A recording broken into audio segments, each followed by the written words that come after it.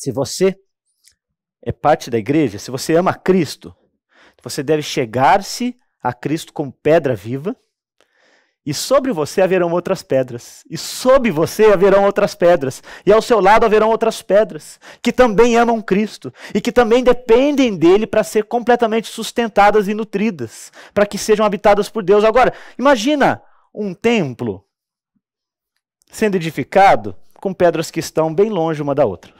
Você consegue imaginar uma cena assim? Como edificar uma casa sem tijolos? Como edificar um templo sem pedras? Sem que elas sejam retiradas do seu lugar, sem que elas sejam preparadas, talhadas e colocadas sob fundamento?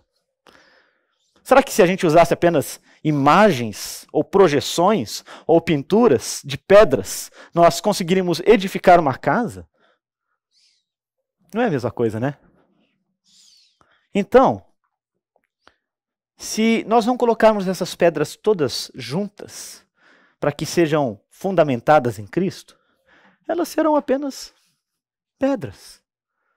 Não serão pedras vivas. A condição da edificação é o que dá vitalidade né, nessa linguagem que Pedro usa aqui a essas pedras.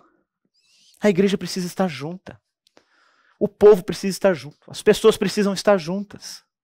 Sem esse ajuntamento das pedras vivas, nós não temos templo. Nós não temos a habitação de Deus.